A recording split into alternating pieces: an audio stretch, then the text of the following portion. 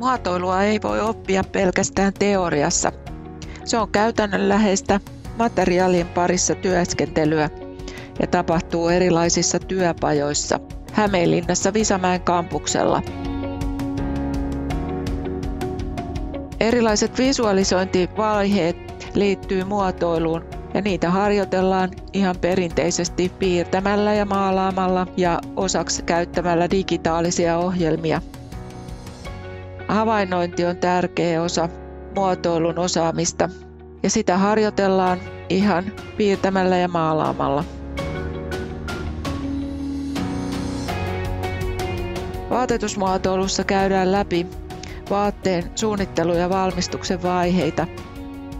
Vaatetussuunnittelu on paljon muuta kuin ompelua tai tuotteiden viimeistelyä. Siihen liittyy esimerkiksi erilaisia asiakastöitä, jotka voi olla osa opinnäytettyä tutkimuksellista näkökulmaa. Kristiina tekee esiintymisasua purleskitaiteilijalle osana opinnäytetyötä.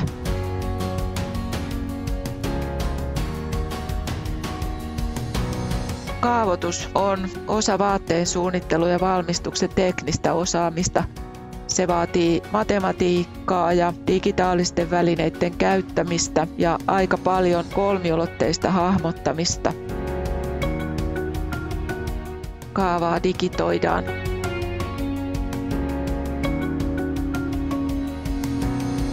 Tuotevalokuvaus tapahtuu valokuvastudiossa Opinnoissa on paljon markkinointiin liittyvää osaamista. Design ja Smart Lab toimii muotoiluunkin oppimisympäristöinä e-talossa.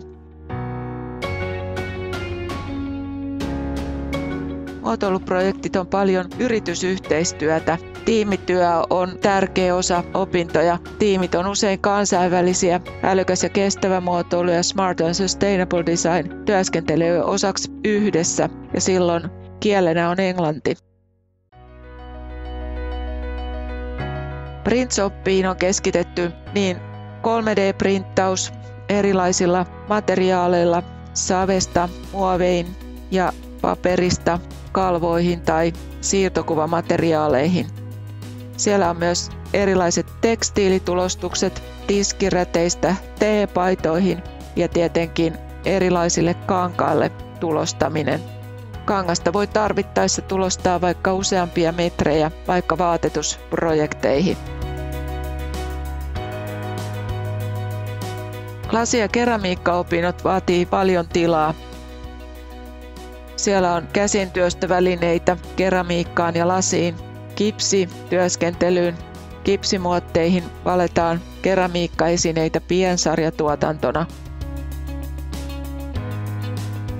Muodon antaminen käsityönä kehittää kolmiulotteista hahmottamista monellakin tavalla.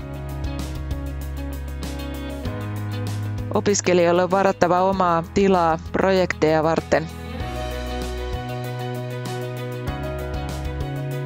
Helina viimeistelee opinnäytetyöhönsä kierrätyslasista valaisimia.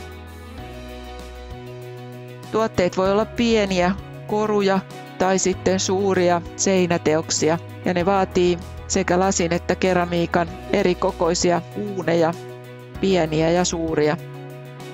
Materiaalitutkimus on osa kaikkia muotoiluopintoja. Jalkinetta varten on varattu oma työskentelytila H-talossa. Siellä on leikkuupöytiä ja erilaisia nahan ompeluun tarvittavia ompelukoneita. Lestejä tarvitaan paljon, jokaiselle kenkäkoolle omansa. Jalkinesuunnittelukin on pitkälle digitaalista. Shoemaster-suunnitteluohjelmasta kaavat voidaan viedä kaavaleikkuriin. Kaavoja käytetään jalkineiden valmistamisessa. Työpajoissa on edelleen paljon käsityövälineitä, varsinkin protovaiheessa ja yksittäiskappaleiden valmistamisessa. Osa laitteista on teollisuuskoneita ja opiskelijoiden apuna on niiden käyttämisessä harjoittelijoita ja työpaja-assistentteja. teollinen kapituslaite vuoroon lämmittää ja kovettaa materiaaleja ja käyttää korkeita lämpötiloja ja paineilmaa. Assistentti auttaa opiskelijoita niiden käytössä.